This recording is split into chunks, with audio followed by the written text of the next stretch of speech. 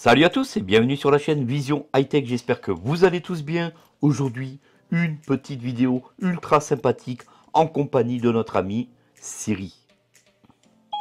Un instant, ça roule. Notre ami Siri s'est-il musclé? On va essayer de voir dans cette vidéo quelques mots-clés ultra intéressants à lui proposer et voir comment il se comporte. Alors, on va tout simplement lui demander ouvrir Molotov.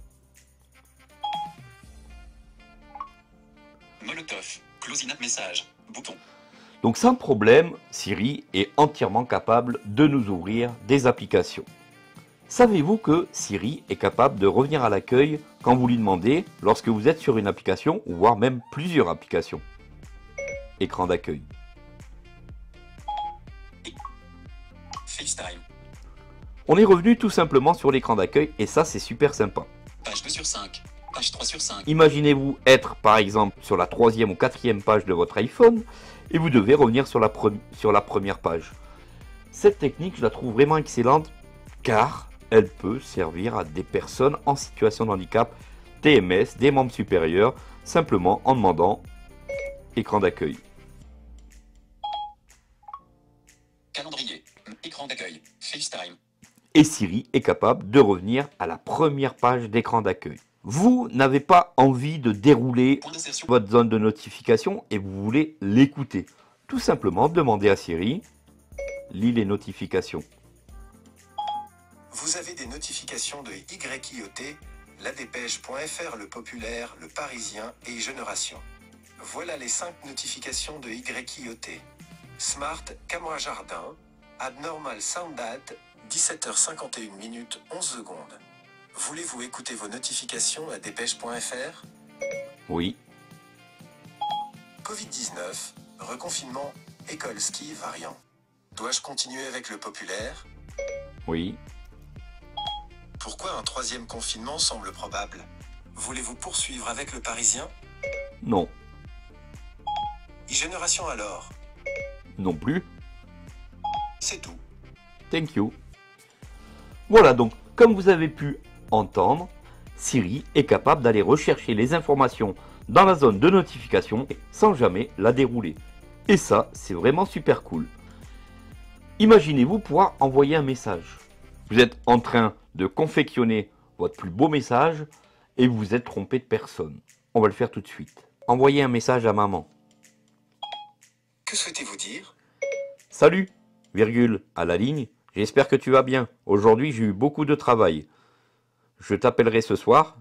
Point à la ligne. Au fait, comment tu vas aujourd'hui Point d'interrogation à la ligne. Merci de m'avoir envoyé le courrier. Je l'ai bien reçu ce matin. Point à la ligne. Au fait, tu sais que Corinne a eu son permis? Super non? Point d'exclamation.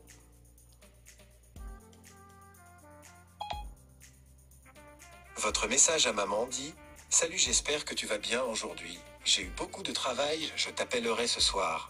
Au fait, comment tu vas aujourd'hui? Merci de m'avoir envoyé le courrier. Je l'ai bien reçu ce matin. Au fait, tu sais que Corinne a eu son permis super non. Dois-je l'envoyer? Changez le message. Ok. Allez-y. Salut, virgule, à la ligne, à la ligne. Tu vas bien? Point d'interrogation. Moi, ça va super. Point à la ligne. Au fait, je t'appellerai ce soir aux alentours de 21h. Ça te va? Point d'interrogation. À la ligne. Merci, bisous, à tout à l'heure. Point. Votre message à maman dit Salut, tu vas bien? Moi, ça va super. Au fait, je t'appellerai ce soir aux alentours de 21h. Ça te va, merci, bisous, à tout à l'heure. Dois-je l'envoyer? Oui. D'accord, c'est envoyé. Voilà, donc comme vous avez comme vous êtes aperçu, on peut changer le message comme ça la volée avec Siri. Et ça, c'est franchement super cool. D'ailleurs, dites-moi ce que vous en pensez en commentaire. Est-ce que vous vous servez déjà de ces techniques pour être encore plus à l'aise avec votre iPhone? On continue. Par exemple, si je veux envoyer un message, en plus du changement de message, vous pouvez faire le changement de contact. Par exemple, vous êtes trompé, c'était pas à maman, mais c'était à Corinne. Exemple, message à Corinne. Alors, exemple ici, je vais dire envoyer un message à maman. Mince, je me suis trompé. Votre message à maman dit Je me suis trompé. Dois-je l'envoyer? Changer maman par Corinne. Votre message à Corinne dit Je me suis trompé. Dois-je l'envoyer? Elle. Je vois plusieurs Michel. Dois-je l'envoyer? Changer Corinne par maman. Votre message à maman dit Salut, comment ça va? Dois-je l'envoyer? Envoyer. D'accord, c'est envoyé. Voilà, ce qui est intéressant dans cette technique, c'est que vous pouvez changer à la volée deux personnes sans problème. Lorsque vous désirez par exemple aller sur un site, Doc. Safari. vous désirez donc ne pas vous casser la tête, vous êtes en voiture ou vous êtes au bureau et vous voulez entendre ce contenu de page. Vous arrivez sur une page et vous désirez faire autre chose en attendant. Eh bien, demandez à votre Siri, énoncez le contenu de l'écran. Tour Eiffel. Wikipédia. 30 adresse. fr.m.wikipedia.org. Connexion sécurisée et validée. La Tour Eiffel. Écoutez est une tour de fer pudelée de 324 mètres de hauteur, avec antenne, point, située à Paris, à l'extrémité nord-ouest du parc du Champ de Mars en bordure de la Seine dans le 7e arrondissement. Son adresse officielle est 5, avenue Anatole France, 2. Tour Eiffel. Oui, énoncez le contenu de l'écran. S. Non. Pause. S. Bouton. Lecture. Alors, ce qui est appréciable lorsque vous demandez à Siri d'énoncer le contenu de votre écran, c'est qu'il vous ouvre un mini lecteur. Vitesse de lecture. 1,5x. Vous pouvez jouer sur la vitesse de lecture. Avance rapide. Bouton. Lecture. Bouton. Retour rapide. Énoncer au toucher. Estomper. Arrêt. Bouton. Safari. Réduire la barre de lecture. Bouton. Vous pouvez donc réduire cette barre de lecture. Safari. Arrêt. Bouton. Énoncer au toucher. Estomper. Bouton. Retour rapide. Bouton. Vous pouvez retourner sur le texte, Lecture. Bouton. Le populaire. lancer la lecture. Tour de Paris. Architecte. Stéphane Sauvestre. Ingénieur. Lecture. faire une pause et avancer dans votre texte. Et ça, c'est vraiment génial puisque ça permet, ça va vous permettre de faire autre chose tout en écoutant vos sites préférés.